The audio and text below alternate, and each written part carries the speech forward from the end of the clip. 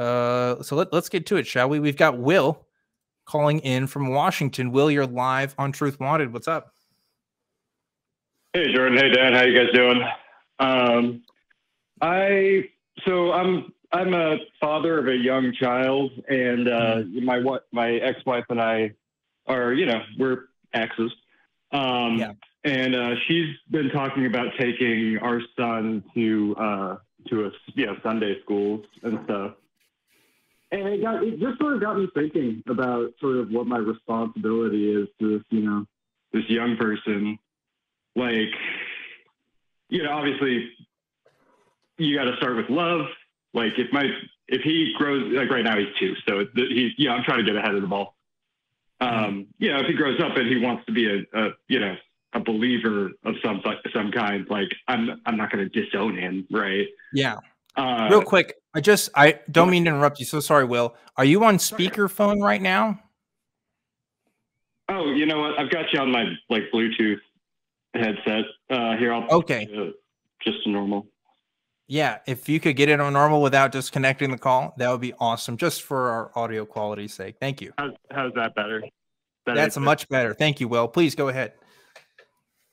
Sorry. Um, did, so basically, yeah. So my, you know, my wife's talking about taking our son to Sunday school, and it just, mm. it really bothered me, and it just sort of got me onto this kind of thought about like, what is my, I don't know. I just, I, I never thought about the possibility of raising an atheist or like a theist child, and I was like, you know, if you guys had deconverted, like, what would you have wanted to hear from a parent or you know if if you guys had any thoughts about that i'm just it was just a thought that you know kind of came through my head. So hmm. i've got kids too. I have four children and three of them are from my ex-wife who's a christian. So i've had similar uh, issues to what you're going through right now. I think the most important thing that you already hit is to make sure no matter what choice your child makes, that you love them and support them and encourage them in wherever they are. I think that's the single most important thing you can always do. What I said my goal was for my kids was I wanted to teach them how to think, not what to think. And so I made it very clear that they were free to come to any conclusion they wanted as long as, you know, it was a a good conclusion they had thought about and that's really where i think the emphasis should go is you should gently challenge your children to think more not think what you think but just be a good rational thinker. You look for evidence you know approach things in a rigorous manner and if you do that i, I don't think that yeah first of all i don't think that's anything that your ex-wife could legitimately complain about. And also, you just be doing your child a service, whether or not they deconvert, even if they end up staying a theist. Surely better that they're a, you know, rational, skeptical theist. But I'm interested to hear what you have to say, Dan. Uh, well, it's funny because I've been asked this question ever since I started appearing on the show, which I think I was like 22. Um, so I don't have kids. So like, uh, you know, I'm not the best person to ask about this. Um, I, I will say I have, uh, you know, grown in my 20s and have learned to uh, be a better man in my relationships and, and figure out what it means to like have a partnership with someone. And I've dated Christians.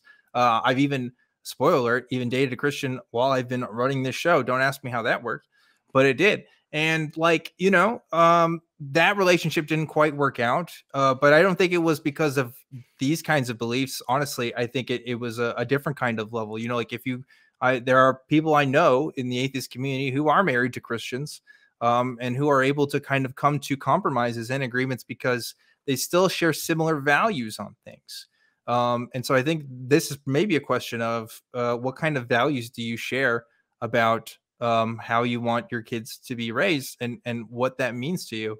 Um, you can't, unfortunately, in a situation like yours, I, I imagine you're not going to be able to win every battle. Um, but even if you can't, uh, there's still the importance of being in somebody's life and being a figure and and and being you know your responses to things is, are just as critical um, to you know whether your ex is taking them to Sunday school or bringing them to other things too because chances are they'll probably ask you about some of that stuff and you can give your response freely. There's nobody saying that you can't right? Uh, at least it, it, doesn't sound like it from what you're describing. Um, so you know ultimately as much as we hate it sometimes we have to let kids think for themselves and and come to that conclusion. We, we can't we can't make it happen. We can only be the best examples that we can and that's all that we can be responsible for right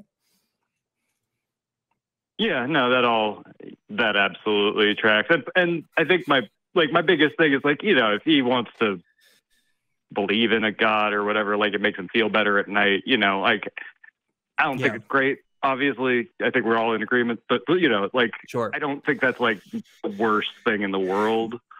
But yeah, Yeah. it just I, I'm so worried that like this exposes him to the possibility of like getting into like some of those kind of dark theologies. You know, like Right. he's going to be online, you know, before I know it, and that's just a you know, you, you guys work on the internet, you know, it's a cesspool.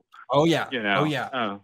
That I mean, So, there's a lot know, of like, studies. are- yeah, I don't. Sorry, I didn't mean to interrupt. I don't know if your kid's Gen Z or Gen Alpha, but uh, you know they they interpret information differently than other generations. They really do. They, your kid is probably young enough. I mean, I know he's, he's young enough to have grown up in his entire life with the internet being a thing. You know what I mean? And if he's not online now, he will be in the future. And like they they they generally have a sense of navigating that differently. Now, I will say this: that doesn't mean they're good at it, because there's a lot of people that that uh, right.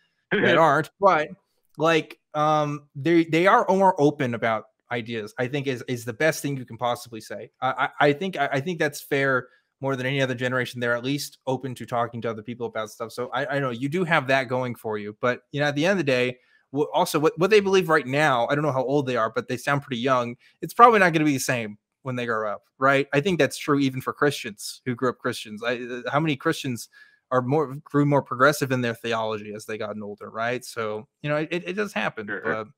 I I think it's good that you're worried about that, but it's also good to kind of let things go just a little bit because you're doing your best. It sounds like you're doing your best, right? And being a role model, and and that's really the best you can do, I, I, I think. But again, I don't have any kids, so who knows what the fuck I'm talking about.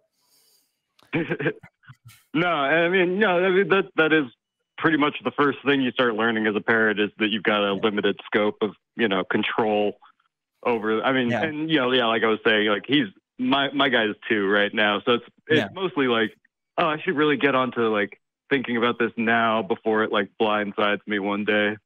Yeah, Uh, just be prepared to answer questions they have, but answer them lovingly and make sure that they like. And I said it before, but make sure that they understand that even if you disagree with them, that's okay. It's okay to have disagreements. It's okay to disagree with your parents. That's a great lesson that that you can teach them in this uh, context. So, like, even though it may not be the ideal situation, this uh, could be an opportunity to to grow your relationship with your child. And I think uh, that's the the direction I would take it. it's a- yeah. yeah, no, I, I feel like that's a pretty pretty hopeful uh, outlook on it, and yeah, yeah, that's helpful. Good. I'm glad we could be of service to you, Um, Will. Um, we are going to go ahead and end this call here. For No, sure. we- we are- appreciate it. You guys are doing great, and thank you so much.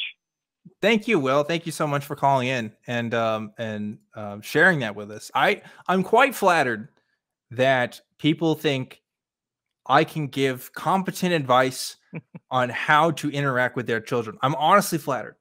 Um, I don't know why, but I'm glad that people can trust me enough. Obviously, Jordan, you're a parent, so you you know you've got that experience. but- Well, the the secret is that absolutely none of us know what we're doing. We're all making it up as we go along. So yeah.